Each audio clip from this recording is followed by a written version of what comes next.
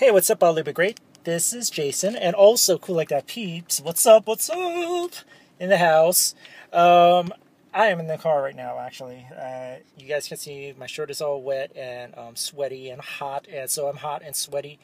Um, I'm actually um, just getting done with the gym. Um, got to work out a little bit. Um, I'm not going to show you what gym I'm at because, you know, you're going to be wondering why I support this gym, but, you know, really um, it, has got everything that I need at this gym. So uh, basically, I'm at the gym.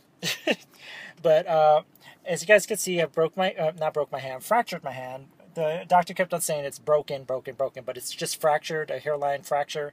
Um, I had to go in today to get it um, splinted, which it feels so uncomfortable uh, because basically I'm just um, trying to lift things and trying to type at work because I, I have to type at work and look at what what's going on. Yeah. So and today I had to do I had to uh, work out, and the only thing I could do is really leg movements today. So I, am gonna work my way up, and I guess this video is gonna be more like um, the word "I can't" because I know a lot of people say I can't do this, I can't do that, I can't, you know, do so much stuff. Oh, by the way, before I get into that, because I want I want to um, uh, make sure that I, I, remember to say this. Um, happy anniversary, uh, Great. Uh, Great has been on YouTube for three years, going strong. Uh, there's a lot of uh, a lot of allies that, that has come to our channel and, and been watching us for um, for years. Now it's three years, so it's basically we've been on this channel for three years. Um, I don't know. I I don't think it's been that long, has it? Oh my goodness, it's been that long already. It just if I guess time flies when you're having so much fun. And with this channel, um, in a couple of weeks, we're going to take a little hiatus from from the channel to kind of regroup and everything like that. And we do have a surprise. It's hard not to tell, but I have to, I, I was ordered by Michelle not to say anything. So we're going to be welcoming someone new into our family, even though we welcomed her already uh, personally. Uh, oh, I just said her. Whoops!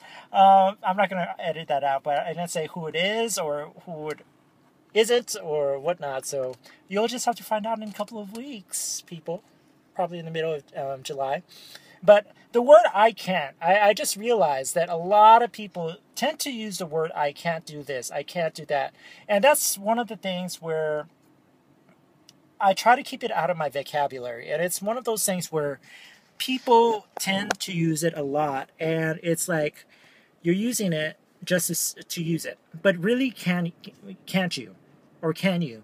Or can't you? You know, I, I was like, can you really not do that? You know, can you really not work out? Can you really not? And my doctor said, so you have to take a little break from working out. And I'm like, I'm thinking to myself, are you serious? I almost started crying. I almost started crying thinking that she just said that.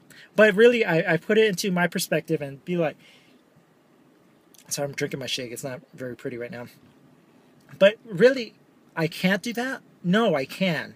And I was thinking to myself, I really can work out. And the reason for that is, is because if you're using, if your your finger is broken, look at my, my finger is like fractured, right? There's other body parts that you can work out, people. So do you really need to take a break from working out? A lot of people say take a break, take a break, take a break. There's a certain time where you can take a break, and you're, you're it's great. You can take a break from doing certain things, but there's also body parts that you can go ahead and work out. Um, sorry, cute guy cute guy in front of me. He's trying to look at me, getting into his car. Muscular, cute guy. Uh, but uh, but can you really say the word I can't? Um, and I really got to a point where I used to say that a lot um, while working out and say I, I said no I can't do that because I'm sick. I can't do this because I have I, I'm sore in certain places. But in a way, if you're you're very conscious about what you're working out, what your your body parts are, you can do certain things. Just avoid the areas that that you're hurting. And a lot of people say has pain in the leg, but your upper body is it painful for you in the upper body?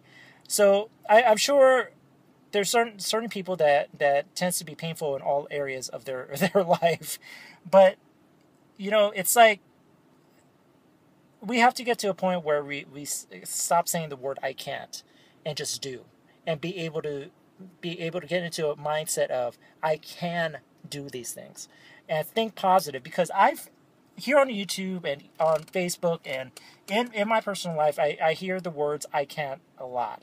And it's like, yes you can. Even if you have to sit down and do a bicep curl, even if you have to, you know, do a um, sit down and do a late uh, calves workout, just to do something um, to keep yourself active, you can do that. So, you know, practice it in this next week, practice it, and be able to say, I can do all things. You know, because in, in a way, possibly, anybody can do something. You know, there's artists that is able to not be able to use their hands, but can use other body parts to actually make painting. You know, there's people that has no arms, no legs, and it's it's funny because the gym that I used to work for had a picture up that showed people that had no limbs and had a beautiful body, and they could still work out. Uh, and the words "I can't" should not be in anybody's vocabulary, and really, it's something that you really have to put in your mindset of "I can do all things." You know, we're fortunate. Most of us are fortunate to be born with all our limbs. Most of us are fortunate to be born with no respiratory problems. Most of us are able to do different things with our body that no one else can do. And it's it's crazy that we have the words I can't, especially if you you're able to walk around um, without no no limitations. Um, I saw a video like a couple um, weeks ago they had this guy, I believe he had MS. He was in a wheelchair, could not move, but he was lifting weights, even though the weights were a lot. he, he looked very thin, but he was very strong enough to move those weights, and he did not want anybody to help him. So it's when when I saw that, it's very moving and touching, and seeing people be able to still work out while having these ailments makes me look at a person that has all four limbs and ha- has no ailment at all, but only is in pain for a certain amount of time. Make me look at them and think, really? Can you really say I can't? Because you know what? That's not an excuse anymore. I can't is not an excuse, and it shouldn't be in our vocabulary. And I'm sorry to be harsh about it, but a, a lot of people use the words "I can't" in vain, and it's it's kind of crazy to me. But I guess that's my video for today. I just wanted to talk eh, about that and just looking around the gym. A lot of people were like, "How can you actually work out? How can you actually work out with a finger like that?" I can because I have my legs. I still can do leg exercises.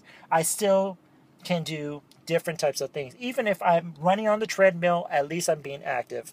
So I can.